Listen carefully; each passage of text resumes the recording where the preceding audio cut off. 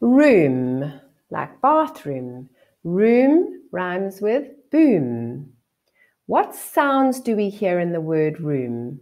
With our ear, let's listen. R, that's at the beginning. R.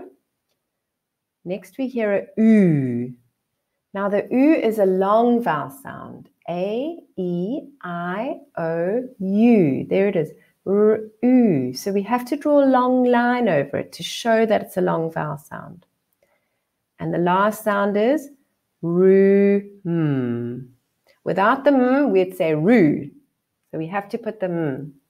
If we're spelling it R O O M, that's at the spelling competition. R O O M, or you could be smart and say R double O M.